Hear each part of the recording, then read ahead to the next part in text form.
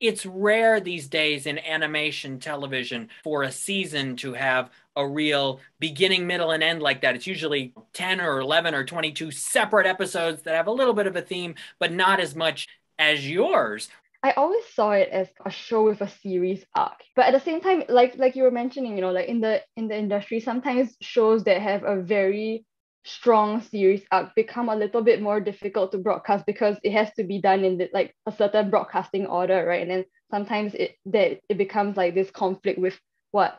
um the broadcasters and like how, how it wants to be displayed. We kind of found this little sweet spot where each episode actually is you are able to watch it as a standalone, but for those who